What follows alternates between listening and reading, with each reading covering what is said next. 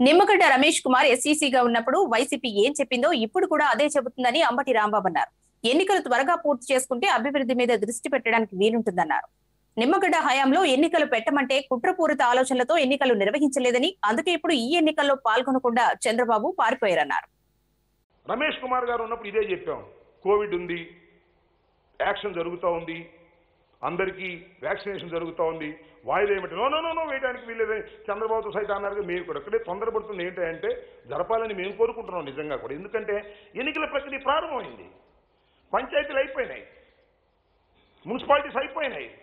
ఇంకా వారం రోజుల్లో ఇవి కూడా అయిపోతాయి. అన్నీ అయిపోయిన తర్వాత ప్రశాంతంగా అభివృద్ధి కార్యక్రమాలు వ్యాక్సినేషన్ వీటన్నిటి మీద వెళ్ళాలి. అంతేగాని ఆరు నెలలకు ఒకసారి ఆరు నెలలకు ఒకసారి ఎలక్షన్ పెట్టుకుంటూ పోతే అభివృద్ధి కార్యక్రమాలు జరగవు. పదమూడు మాసాల క్రితం జరగవలసినటువంటి ఎన్నికలు కేవలం చంద్రబాబు రమేష్ కుమార్ కుట్ర వల్ల ఈ ఎన్నికలు వాయిదా పడ్డాయి. అప్పుడేమో వాయిదా వద్దన్నాం. వాయిదా వేశారు. పెట్టొద్దన్నాం. పెట్టారు. ఇప్పుడు పెట్టమంటున్నాం. పెట్టనంటున్నారు. రమేష్ కుమారే పెట్టుకుపోవచ్చు కదండి?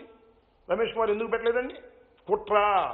రమేష్ కుమార్ గారు చంద్రబాబు సహాయంతో అర్బన్లో పెడితే జగన్మోహన్ రెడ్డి గారికి బలం ఉండదు అనుకున్నారు. అర్బన్లో పెట్టిన అద్భుతంగా జగన్మోహన్ రెడ్డి గారికి మెజార్టీలు వచ్చిన తర్వాత చంద్రబాబు నాయుడు గారి పరిస్థితి అయింది.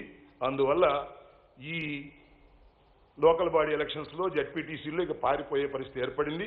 పాపం రమేష్ కుమార్ గారు కూడా లేడు ఆశాజ్యోతి కూడా లేదు. పాపం నీలం సహానీ గారు చిత్తశుద్ధితో మిగిలినటువంటి కార్యక్రమాన్ని ఒక పద్ధతి ద్వారా నిర్వహించడానికి ప్రయత్నం చేస్తుంటే ఆమె మీద ఒక మహిళని కూడా చూడుకోకుండా ఆమె మీద ఇష్టం వచ్చినట్టుగా రబ్బర్ స్టాంప్ అని అదని ఇదని మాట్లాడుతున్నారు. ఎవరైనా ఐఏఎస్ వారే కదా? రమేష్ కుమార్ ఎక్కడి నుంచి వచ్చాడు? మన స్టేట్ వాడు. ఈ మన స్టేట్ కూడా కాదు వేరే స్టేట్ నుంచి అక్కడికి వచ్చి పనిచేసినటువంటి ఒక మహిళా ఐఏఎస్ ఆఫీసర్.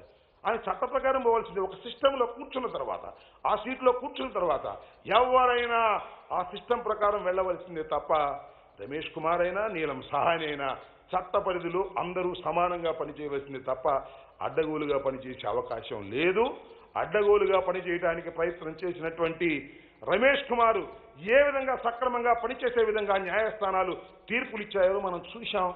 సక్రమంగా జరిగాయి. దిగి వెళ్ళిపోయేటప్పుడు రమేష్ కుమార్ గారు ఏం చెప్పాడు? బ్రహ్మాండంగా ప్రభుత్వం సహకరించింది. బ్రహ్మాండంగా చేశాం. న్యాయబద్ధంగా చేశాం అని చెప్పాడు కదా. ఇవాళ ఆ లెటర్ తీసుకొని చదువుతున్నాడు చంద్రబాబు నాయుడు ఆయన రాసిన లెటరే ఆయన సంతకం పెట్టాడు.